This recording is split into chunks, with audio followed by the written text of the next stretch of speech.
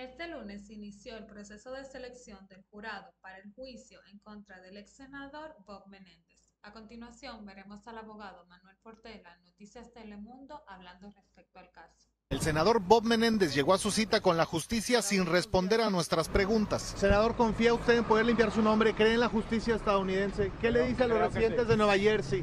Hora y media antes de que iniciara en una corte federal en Manhattan el juicio en su contra.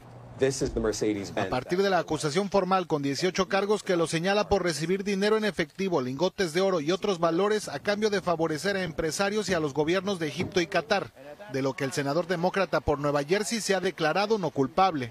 Este lunes el proceso inició con una fase crucial, la selección del jurado, 12 neoyorquinos y seis suplentes que decidirán el futuro legal de Menéndez. Comenta este abogado no relacionado al caso. No pueden leer noticias sobre el juicio en los periódicos o por las redes sociales, porque tienen que basar su decisión basado en las evidencias que se presenta en la corte y no basado en la opinión común o la opinión pública. El proceso será encabezado por el juez Sidney Stein, quien lleva casi 30 años al frente del Distrito Sur en Nueva York. Egresado de Princeton y Yale, fue nominado por el presidente Clinton y ha manejado varios casos de alto perfil.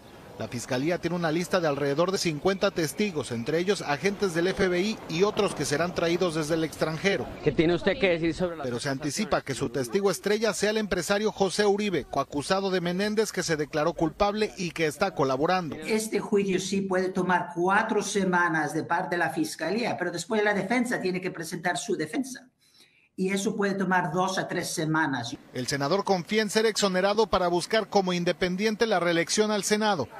Su defensa argumentará que no estaba enterado del alcance de las acciones de su esposa, que también fue acusada, y que su costumbre de guardar dinero se debe a una condición mental por episodios traumáticos de su vida. Saludamos a Javier Vega desde Nueva York. Javier, cuéntanos cómo terminó esta primera jornada del juicio.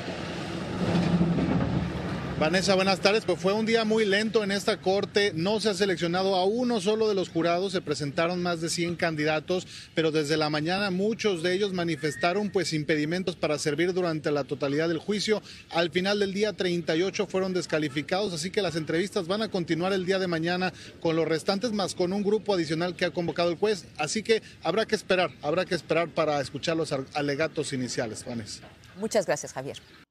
También recuerda seguirnos en nuestras redes sociales, LinkedIn, Twitter, Instagram, Facebook, TikTok y YouTube. Recuerda también que si necesitas cualquier asesoría legal, puedes llamarnos al 212-927-7363.